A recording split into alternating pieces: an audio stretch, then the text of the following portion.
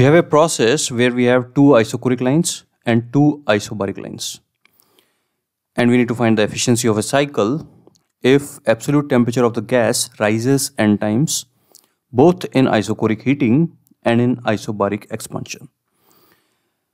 So the least temperature in this cycle is going to be here and in isobaric sorry isochoric expansion it's given that temperature increases n times so if it is t here it becomes nt here.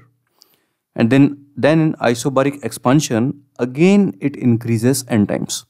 So the temperature was nt the temperature becomes n square t here. So what will be the temperature here?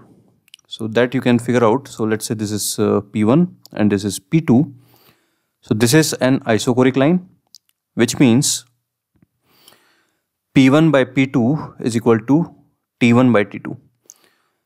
So P1 by P2 is NT by T which is N. Now if we come to these two points, so again P1 by P2 which we already saw is N. So N is equal to N square T upon this temperature which gives this temperature must be NT. So other way to figure out uh, this temperature if you can see from the V1 and V2. So again same thing we'll do. So V2 by V1 is equal to n square T by Nt which is n.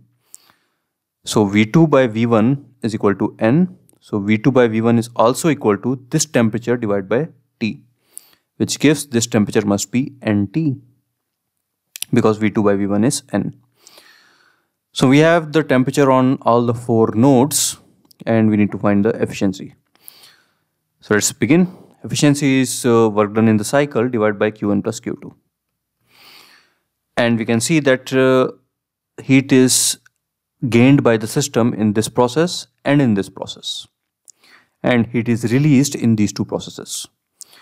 So work done is uh, delta Q which is Q1 plus Q2 minus Q3 plus Q4 that is W divided by Q1 plus Q2.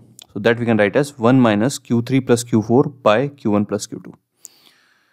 So now we just need to find the values of Q3, Q4, Q1 and Q2. So for the isochoric processes, we know that uh, heat is NCVDT and for isobaric it is NCPDT. So that's what we have done here. So for Q1 which is isochoric, it is N naught CV into n minus 1 into t. And Q2 is isobaric, so n naught Cp into n square t minus nt. Similarly, Q3 and Q4, so Q3 is equal to n naught Cv into n square t minus nt.